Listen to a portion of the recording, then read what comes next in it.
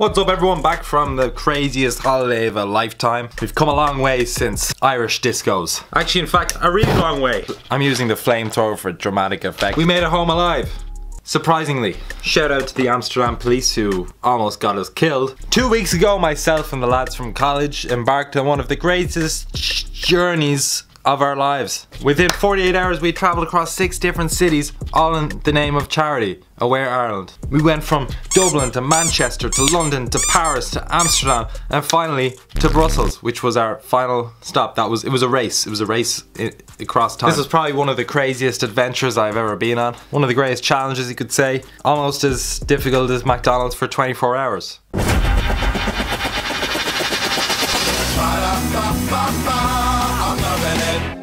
And uh, yeah, I started. You gained weight, man, I feel, since this morning. no, I, I was already fat. But in all seriousness, the Quest DCU was all done in aid of a charity, Aware Ireland, a charity which is deeply special to me, which uh, wants to do with mental health. It's a charity that's been operating for over 35 years and they do a lot of great work such as counselling and uh, special consultations for people who are struggling. Ireland actually spends uh, the most out of any EU country on mental health every year. It actually takes up 8.2 billion euros a year. So, so yeah, any effort is good and it's going to help someone who is struggling through a hard time, which you know can happen to some people. So, as well as that, 18.5% of people in Ireland have said that they've struggled with mental health issues in the past. So, yeah, it, it is, it, it's a pretty pressing issue, in my opinion, and I'm glad that we got to play a part helping this in, some ways. You know, it just means that we have played a part in helping uh, someone else overcome this battle, you know, so I mean, that's good.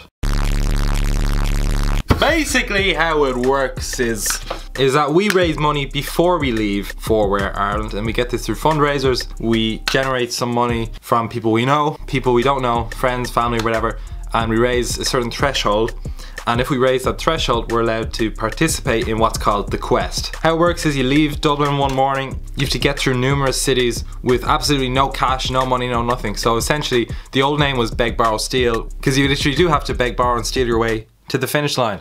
25 different teams racing to the finish line. They have to go through four cities of minimum. City in the UK, two cities in Europe, and then the final destination in Brussels, which is the finish line.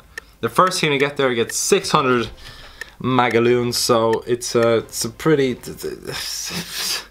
yeah. So to clarify, the quest has nothing to do with actual Aware Ireland. Like that fundraising was done before the quest started like that was that's separate you know what I mean? We, we don't touch that. That money goes into the charity and you know whatever. The other the money that we raise on the trip it goes towards us getting to Brussels. So getting through the different cities getting through uh, getting train tickets if if you buy train tickets which which we did not do much of. Became a uh, pretty cool top five position which uh, we were pretty happy about. Given that we've up majorly in one city but we we will we'll get to that so, if you do enjoy this content, make sure to like, comment, just subscribe. That's all you need to do. Uh, we're trying to build this channel up into something. We're trying to build a, a channel essentially. So, I know a lot of people, uh, especially people my age, just kind of recreationally watch the videos and like, oh yeah, it was good, yeah, yeah, yeah. I'm like, did you did you subscribe? No. So yeah, it actually does help me out a lot. We're trying to hit 1250 by the end of the year. Initially, I said 500 for the year, and we smashed that. So and then I said a thousand. So we might as well round it off to 1250 because why not? You know what I mean? so yeah, like, comment, subscribe, do all of those things. So let's get into the quest. Well, after leaving DCU, we had to solve a riddle which led us to the Jameson Distillery, and that's where we met Podge Henry, who still smelt of chicken McNuggets. We got some baseball caps there and some other merchandise. They actually sponsored the quest, so it wasn't really much of a surprise that that was our first location. We got a photo there. Then we had to solve a second riddle, which led us to the Facebook Centre. And then after this, we had to decide which UK destination we were going to head to. So we had a couple of choices. We could have went to London, Birmingham, uh, Edinburgh, but we actually decided to go to Manchester, uh, mainly because in the short term, the flights were actually the cheapest on the day and for uh, priority booking, if that makes sense. So we decided to go to Manchester, but this would eventually lead to other problems, which we'll get to. We got a taxi from the Facebook Centre to the airport, which we paid for using challenge money, a 25 euro challenge, which we would later do in the airport itself, which is to pull a pint. The woman working at the bar pretty much ripped into Luke because the Guinness was, well, looked like shit. After this, we fundraised some more in the airport with our bucket. It actually proved quite successful. We got about 100 euro in the airport. Airport security told us multiple times he can't do it, but, but we really had no other choice because we need the money, so we did it anyway. The money that was used to cover the Manchester flights was pre-arranged that uh, we had like uh, work sponsors lined up and stuff, so they actually bought us the tickets and they were just ready to buy on the day. Once we got into the plane, we asked the air stewards could we fundraise through the announcer. Very nicely, they said yes. They allowed us to do it. So for the first time in my life, I got in an airplane and announced something. It was uh, it's pretty cool moment. We raised about 150 euros plus uh, just on that flight alone, which was astounding. It was crazy how much we raised in it. It set us up really well for the least the next uh, day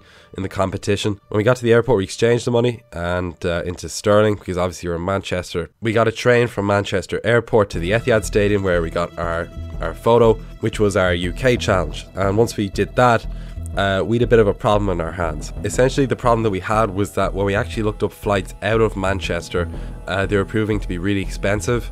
So we would have been spending maybe 135 pounds each uh, to get a flight, which we just could not afford. So we made the pretty big decision to actually sneak onto a train from Manchester to London, which was a three hour, two and a half hour long, three hour train.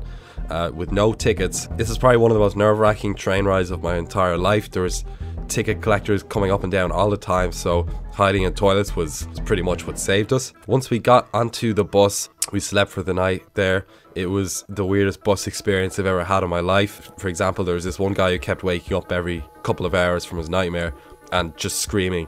Once we got to Paris, uh, we went to the Eiffel Tower to do our second challenge. We snuck onto another metro. Uh, at this point, I think we're sneaking onto everything. There's there's no chance we are paying for anything.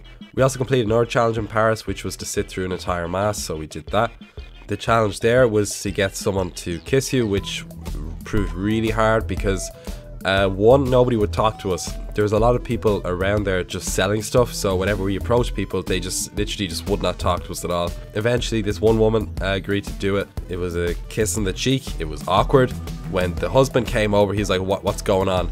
I, we literally just were like, all right, see you later, and walked away. After this, we went back to Gare du Nord, which is one of the uh, most famous, uh, busiest train stations in Europe.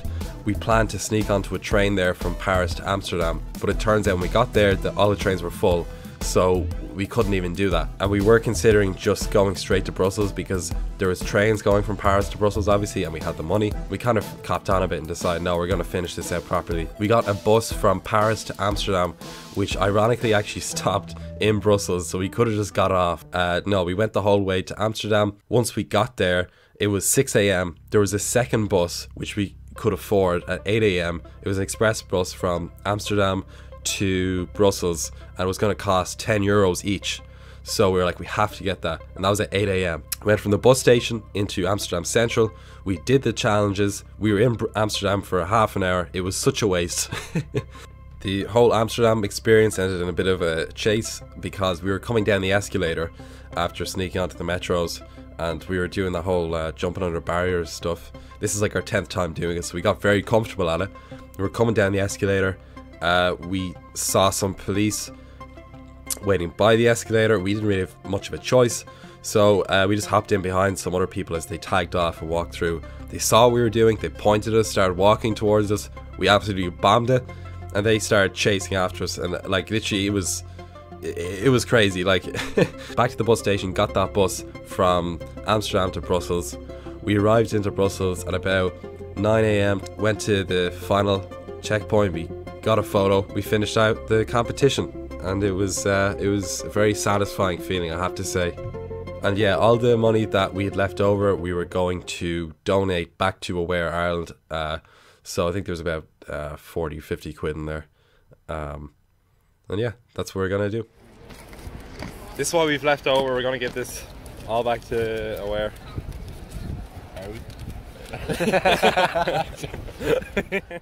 Obviously, we had our debit cards back and all our normal stuff. So it was pretty much a holiday at this point. There was a huge after party after that night. Uh, all the teams showed up in an Irish pub, and we had a great night with some uh, some Dutch people as well. So it was hopping. Uh, the holiday was good too. Got to see a lot of Brussels. Went to the uh, Atomium. We went to an Anderlecht game, and uh, yeah, the rest of the holiday was was fairly chill. I think the main takeaway from this whole event is that we're, we we never gave up, you know, and that's just the way it is. That's why we were so surprised. Like the, when we got there, we were like, when we got told that that's like we came in the top five, I was like, wow, like we, we didn't think we had done that well. Do you know what I mean? But it actually just turned out that the other teams, which we thought were ahead of us, actually just given up. You know? So, you know, I, I, like I, I won't lie, like, I'm pretty proud of that. Like that we like we had to take risks. Like we had to have some balls and do stuff that we weren't comfortable with. Like no one's comfortable with getting chased by the Dutch police. Nobody's comfortable jumping over barriers in a, in a train station. It's something that I think we were all very proud of when we finished that we had actually had the resilience to just keep powering forward and actually make it, you know. So even when there was lots of setbacks and times we could have given up, but we're like, nah, like we're gonna keep going. That's a message to to anyone out there, you know, if you're in anything like if you're if you're struggling in school in sports you're you lost your last race you, you lost your fight if you're